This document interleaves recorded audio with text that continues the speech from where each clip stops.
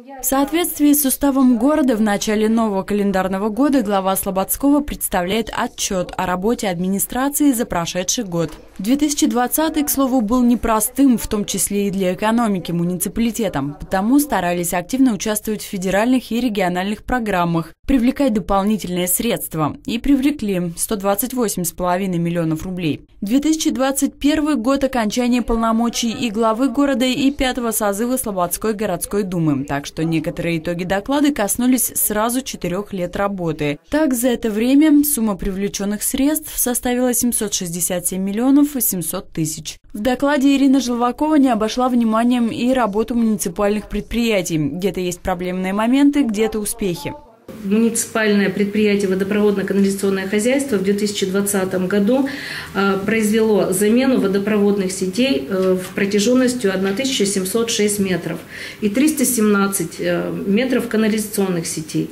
49 водопроводных и канализационных колодцев были отремонтированы, 5 гидрантов были заменены. Предприятие приобрело 2 единицы техники, специальной на сумму более 6 миллионов рублей, автокран и экскаватор, оборудование на сумму сумму более 2 миллионов рублей. И в планах на 2021 год дальнейшее обновление спецтехники. Глава города коснулась и наболевшей для многих темы высоких тарифов МУП «Теплосервис». Есть утверждение, что самые дорогие тарифы у МУП «Теплосервис» э, на территории Кировской области по данным сайта региональной службы по тарифам это свежая информация.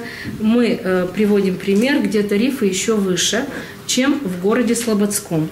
Значит, у нас на сегодня для юридических лиц тариф 5332, по этому тарифу платят юридические лица, для населения 4366 тариф. Участвуя в федеральной программе «Безопасные и качественные автомобильные дороги», в 2020 году город отремонтировал 12 участков дорог. Всего за 4 года отремонтировано 32,5 километра дорог. На эти цели из федеральных средств потрачено 387 миллионов рублей. В рамках программы также оборудовали 6 пешеходных переходов у образовательных организаций.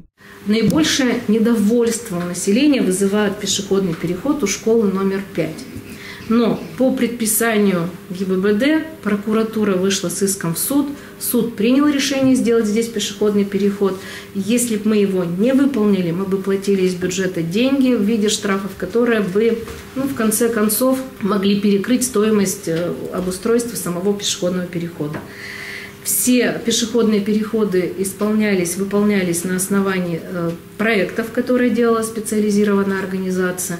Поэтому все сделано по ГОСТу. Благодаря программе формирования комфортной городской среды удалось благоустроить территорию возле дома номер 25 по улице Горького. И, пожалуй, главным проектом для Слободского в рамках той же программы стало благоустройство детского парка имени Пушкина. Всего за 4 года участия в программе удалось благоустроить 38 территорий многоквартирных домов и 20 общественных пространств. Несколько лет подряд город активно участвовал в программе поддержки местных инициатив. В 2020 году ППМИ в области не реализовывали. Тем не менее, работать над своими проектами инициативные слобожане все это время продолжали. А за 4 года удалось воплотить в жизнь 64 инициативы. Это спортивные, детские, игровые площадки, благоустройство парков, площадей, ремонт памятников, автомобильных дорог, тротуаров, зданий дополнительного образования, благоустройство дворовых территорий. Еще одна важная сфера, которой коснулся доклад образования. Обеспеченность местами в детских садах очень хорошая.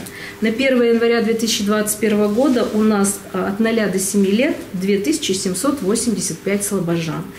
Количество детей, охваченных дошкольным образованием, 2006 детей или 72%. Очереди в дошкольной образовательной организации детей до 3 лет у нас нет. Размер платы, взимаемой с родителей за присмотр и уход. Он на сегодня составляет 105 рублей в день.